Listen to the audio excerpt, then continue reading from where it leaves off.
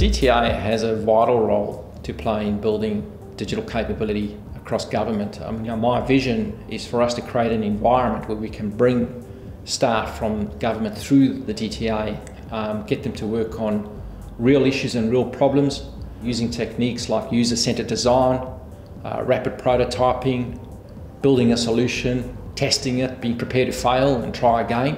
Australian Government ICT entry level programs help build the digital capability of government by ensuring we have the right skills and the right people to address the emerging ICT technologies and issues that government has to face in the future. The entry level programs has a really strong focus in increasing diversity amongst our ICT employees. We have around 40% of our ICT workforce are female and the entry level programs are one means that agencies can use to increase their female participation in their ICT workforce. People expect us to be doing really good things. They expect a very high service level from the Australian government. People don't go to government because they want to.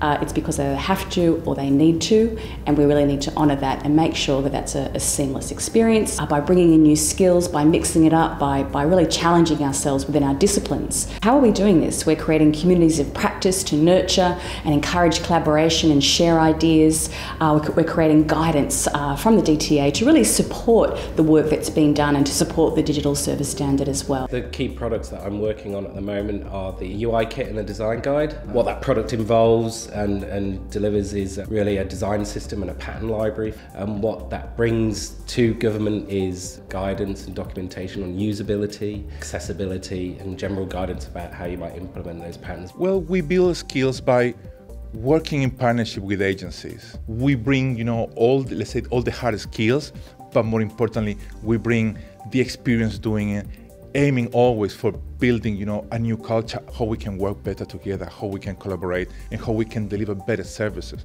for our users. So personally, I've been working on a day-to-day level with a number of individuals at a department, helping to essentially train them up as user researchers. We've been uh, having them shadow me, conducting sessions and, and performing analysis, and we've transition slowly to a place where they're able to lead sessions, to, to design conversations, to do rigorous analysis, and also to be able to communicate the value of what they're learning widely within their organisations.